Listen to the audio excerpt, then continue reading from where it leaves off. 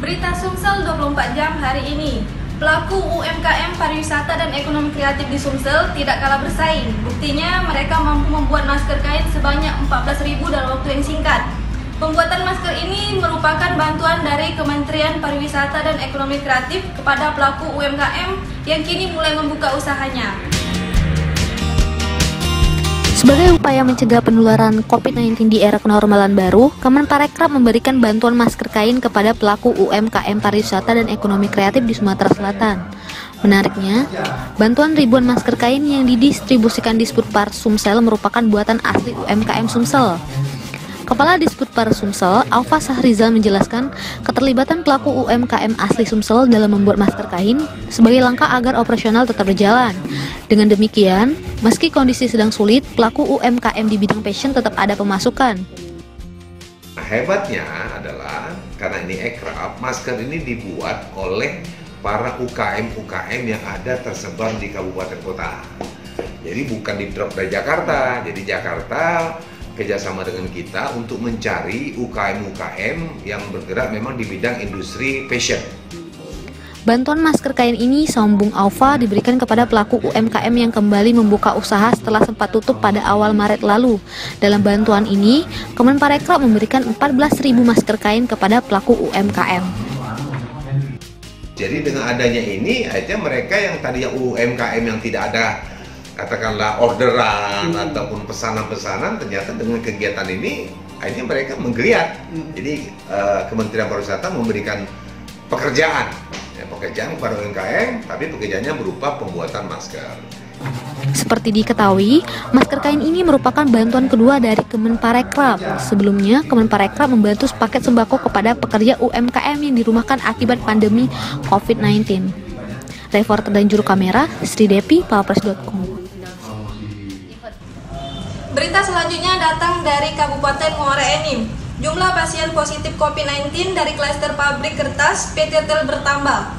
Saat ini sudah lima karyawan dinyatakan positif terpapar COVID-19. Hasil ini diketahui setelah dilakukan swab test terhadap 104 karyawan. Meski begitu, manajemen PT Tel belum menutup perusahaan tersebut. Jumlah pasien positif COVID-19 dari klaster pabrik kertas PT Tanjung Enim Lestari atau PT TEL kembali bertambah. Hal ini diketahui setelah perusahaan tersebut melakukan uji swab terhadap 104 karyawan yang kontak erat dengan pasien terpapar COVID-19.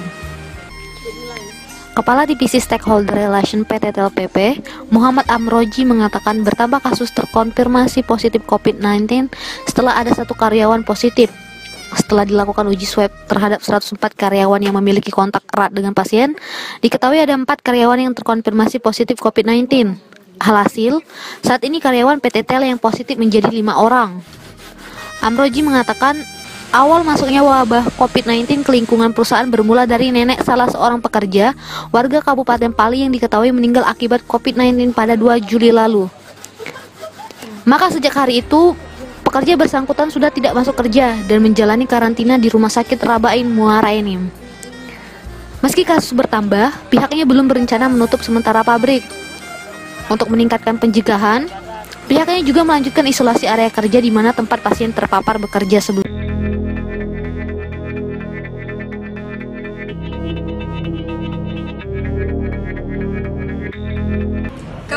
Bali menduduki peringkat ketiga se-Sumatera Selatan terkait jumlah kasus COVID-19 dengan presentase jumlah penduduk. Kasus terkonfirmasi COVID-19 di Bali hingga saat ini sudah mencapai 66 orang. Dari jumlah penduduk tidak sampai 150 ribu orang ini, berikut liputannya. Kabupaten Pali menduduki peringkat ketiga kasus COVID-19 setelah kota Palembang dan Lubuk Linggau. Peringkat ini dilihat dari jumlah orang yang terkonfirmasi positif dengan jumlah penduduk. Gugus Tugas Percepatan Penanganan COVID-19 Kabupaten Pali mencatat jumlah kasus terkonfirmasi positif di kabupaten ini sebanyak 66 orang dengan jumlah penduduk tidak sampai 150 ribu orang. Warga yang terkonfirmasi positif COVID-19 terbesar di lima kecamatan. Juru bicara gugus tugas percepatan penanganan COVID-19 Kabupaten Pali, Dr. Zamir Alpi terus menghimbau agar warga tidak menyepelekan virus corona. Penduduk Pali dengan jumlah yang sakit itu paling peringkat ketiga untuk Sumatera Selatan. Setelah Palembang dan meninggal untuk angka apa nih jadi kalau untuk secara global angka kesakitannya Bali ada masuk di lima besar Dr. Zamir mengatakan, berdasarkan data terakhir perkembangan kasus terkonfirmasi positif virus corona pada Jumat 17 Juli, ada sebanyak 66 kasus, 19 di antaranya dinyatakan sembuh dan 4 orang meninggal.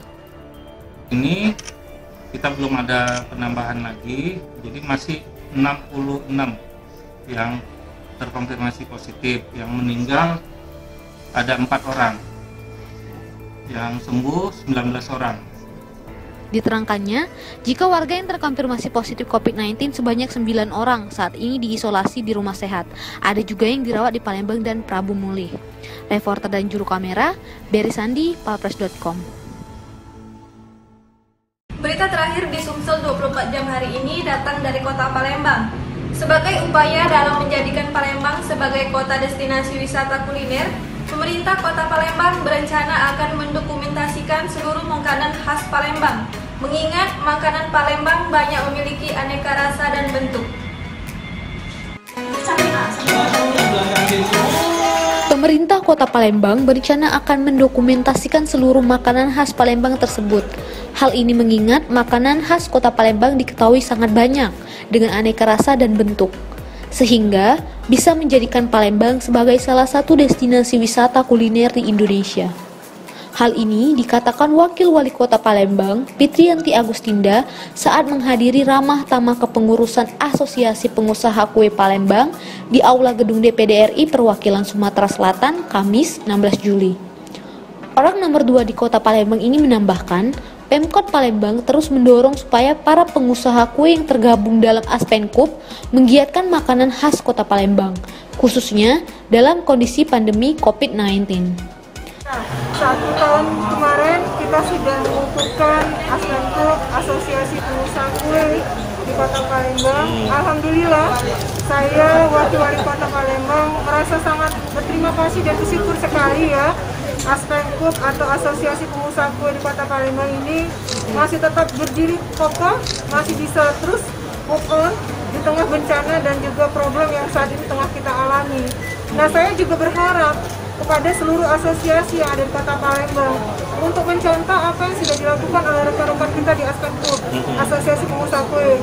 Bagaimana mereka bisa tegar, bagaimana mereka bisa move on, bagaimana mereka bisa tetap maju. Bahkan saya dengar Bunda Raya di tengah bencana ini tetap mempunyai uh, apa ya pelanggan-pelanggan tetap bahkan dalam arti pemesanan semakin banyak. Nah ini kami mohon nanti yang disampaikan oleh uh, anggota DPD juga Ibu Asli oh nanti supaya Bunda juga memberikan arahan bimbingan kepada asosiasi yang lain supaya uh, mereka juga bisa maju sama seperti Astanko. Sementara itu, anggota DPD RI daerah pemilihan Sumsel yang juga ketua umum Aspenkup, Yus Elisa mengatakan kegiatan ini awal dari roadshow yang sudah digelar sejak awal April hingga September mendatang. Acara ramah tamah itu sendiri dikemas dalam bentuk tradisi khas Palembang, yakni minum tambang. Sebuah tradisi yang mulai terlupakan berupa jamuan makan yang disajikan gadis-gadis cantik berbusana tradisional Palembang. Sejumlah makanan yang disajikan merupakan kuliner khas Palembang, seperti laksan, celimpungan, serta aneka kue hasil inovasi dari para anggota Aspenko pemikiran bahwa ini tidak bisa hanya dibiarkan hanya skup kita saja yang kita lakukan ini. Kami ini secara kebetulan harusnya kemarin karena karena kebetulan saya di kelengkapan PWRT ada keinginan daripada uh, bukan keinginan sebenarnya dalam rangka Monef untuk kantor karena kita punya kantor di PDR ini terbesar di seluruh Indonesia. Nah kemarin karena ini tidak match waktunya saja karena hari ini juga ada sidang paripurna harusnya seluruh anggota DPD RI itu datang sini harusnya itu nanti kita matchkan lagi waktunya saya punya keinginan besar bahwa seluruh perwakilan DPD RI dari seluruh Indonesia itu melihat real atau kenyataan daripada uh, keanekaragaman daripada makanan khas daripada Palembang ini. Reporter dan juru kamera Citra Utama.